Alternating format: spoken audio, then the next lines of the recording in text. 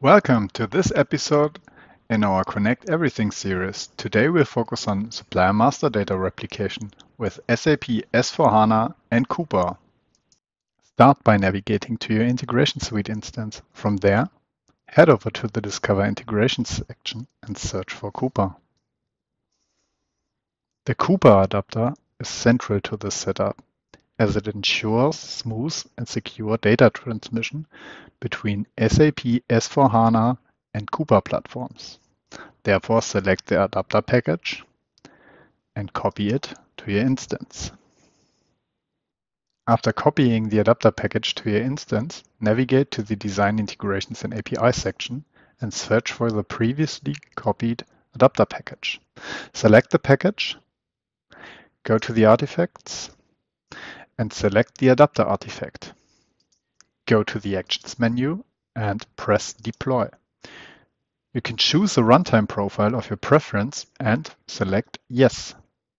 Now let's check if the Coupa adapter deployment was successful by navigating to Monitor Integrations and APIs and navigating to the Manage Integration Content tile. Here we can check if the Coupa adapter deployment was started successfully. Perfect. We can now move to the next task. We can now continue with the setup of the SAP S4HANA system. For this, I've written an extensive blog post that covers all the steps required to do the setup. Feel free to check it out. Before you can set up the replication of supplier master data, you need to make some customizing settings within Coupa. Those settings are published within the SAP Business Accelerator Hub. We therefore navigate to the adapter section and search for Coupa. You can select the adapter package and go to the document section. The documentation contains a section called Initialize OAuth Setup in Coupa. Please follow up with this section and I see you in the next step. With the configuration of the SAP S4HANA and the Coupa system, we can now continue with the configuration of the integration. We therefore head to the Integration Suite and go to the Discover Integrations section. Let's search for Coupa. We select the SAP S4HANA integration with Coupa package and copy the package to our instance.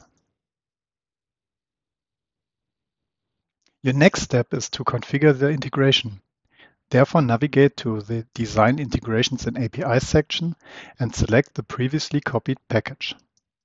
Navigate to the Artifacts section and via the Actions menu, select Configure.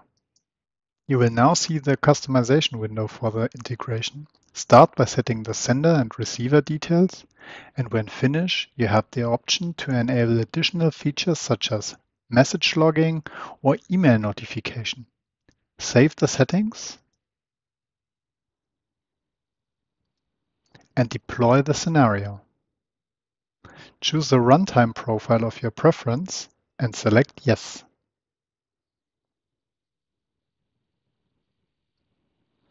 Finally, check the successful deployment of your integration scenario within the monitoring section. Now head over to the SAP S4HANA system and run transaction drf underscore out.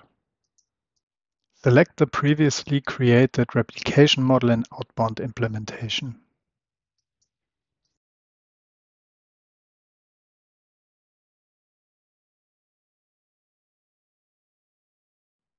Afterwards, select the replication mode manual and select the filter criteria for the business partner you would like to replicate from your SAP S4HANA system to Coupa.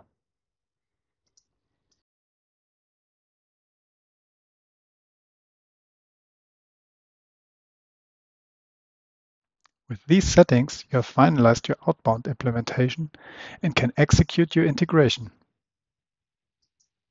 You can now check if the replication has started successfully. Let's now go to the SAP Integration Suite monitoring. Let's check if the message has been transmitted successfully. Yeah, looks like it has been transmitted successfully. So we can close out this video.